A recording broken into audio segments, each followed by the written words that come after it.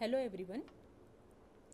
As we already started discussion about interprocess communication in last video, today we are going to learn more about interprocess communication. The learning outcome of this session are at the end of this session, student will be able to explore interprocess communication using message passing and interpret the synchronization between cooperating processes. Now recall from last video that we studied shared memory using common buffer pool which is one of the method for interprocess communication. We studied producer consumer problem using shared memory. Another way of interprocess communication is message passing. The message passing uses two primitives that is send message and receive message. Using these two primitives, two processes can communicate with each other by sending message with each other. There must exist communication link between the process to send and receive a message. One of the example of interprocess communication that we studied is direct communication. In under direct communication, the processes which wish to communicate with each other must name the recipient and the sender. Means in direct communication of message passing system sender and receiver must know each other. Now let us see the next type of message passing communication that is interprocess indirect communication. In indirect communication the messages are sent to and received from mailboxes which is also referred as port in indirect communication, each message, each mailbox has a unique ID. That mailbox is created as an object where messages can be queued by the processes and the messages can be removed by the processes. The, so the mailbox has an unique identification number. The processes can communicate with each other only if they share a mailbox. The two processes can communicate if they have a common mailbox shared with them. In indirect communication, send and primitives are send and receive primitives are used. The send primitive is send a comma message means send a message to mailbox A and receive a comma message means receive a message from mailbox A. So mailbox sharing takes place like sender process here sender process sends a message to particular mailbox A or port A and receiver process receive a message from that mailbox or port A. This is indirect communication. Now properties of communication link in indirect communication are link is established only if processes share a common mailbox.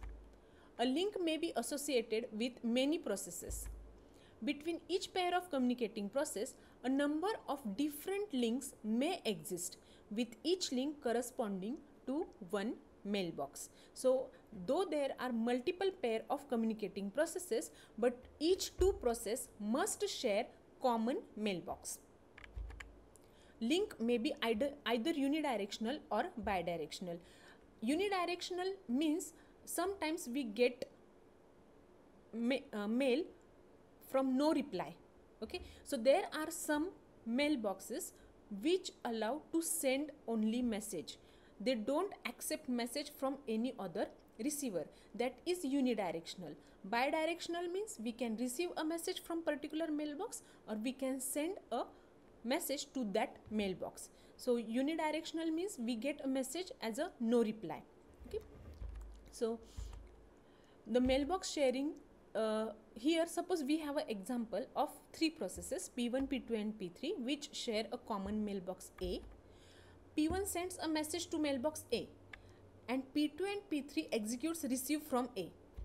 Then who will get the message? We know that both processes P2 and P3 both will get the message but this depends on the method used by the operating system.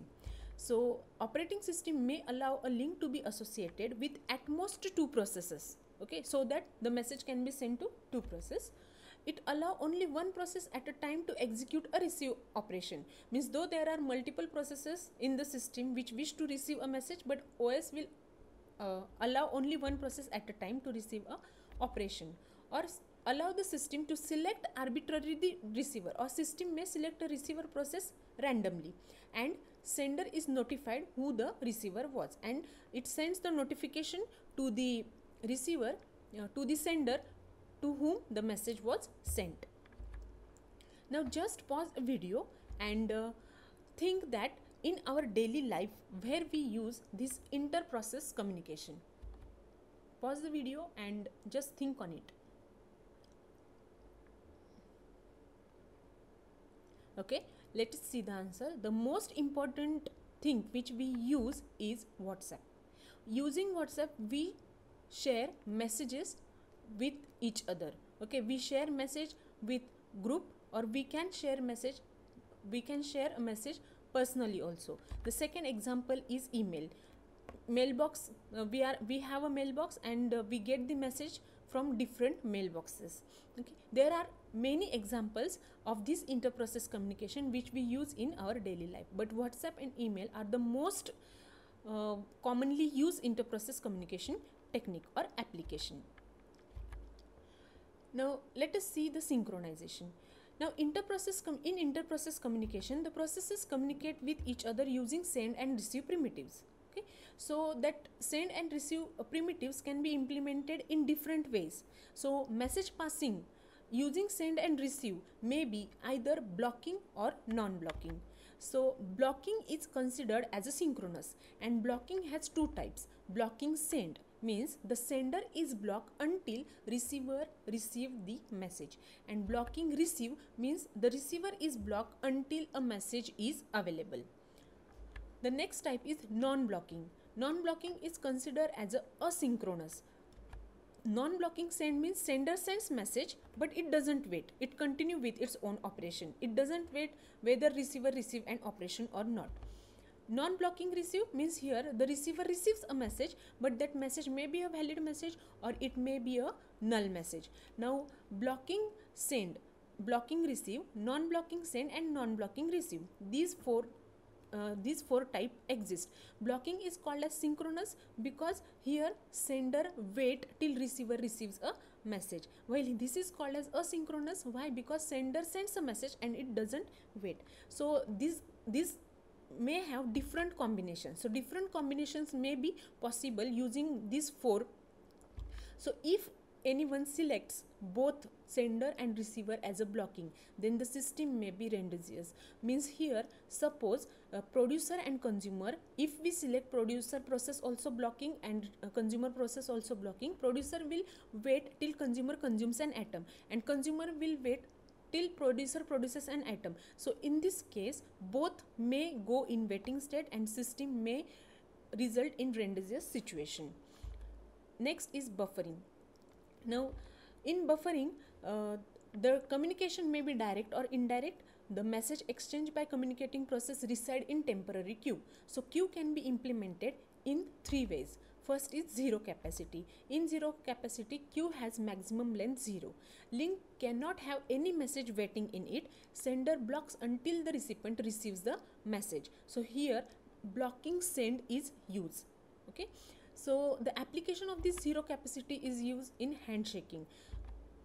Here suppose process p1 send a message to process p2 p2 receive a message from process p1 here when process p1 send a message it will block till p2 receives a message. Once p2 receive a message p2 send a message to process p1 and when p2 send a message it wait till p1 receive a message. So in this case both sender and receiver are blocking. This type of operation is used in handshaking where one to one communication takes place.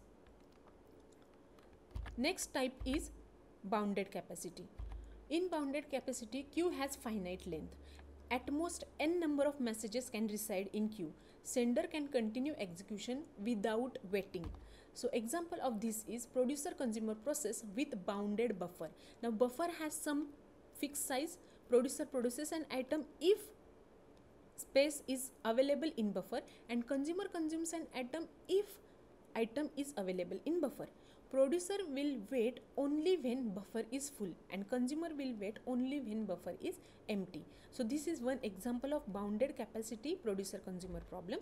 Second example is sender process send a message to mailbox a and receiver receive a message from mailbox a. So uh, these two are examples of bounded capacity. Third type is unbounded capacity. In unbounded capacity queue has infinite length any number of messages may reside in queue and sender never block. Sender will continually send message to the queue. Example of this there may be only one producer and n number of consumers may present there. There may be n number of producers and only one consumer will be there and n number of producers may be there and n number of consumers may exist. So these are three types of buffering for inter-process communication technique of message passing where zero capacity is also called as no buffering while bounded capacity and unbounded capacity is called as automatic buffering. You so in this video we studied how message passing is used for indirect communication using mailbox and how buffering technique takes place uh, how the buffering technique is used for implementing this message passing system for indirect communication. These are the references. Thank you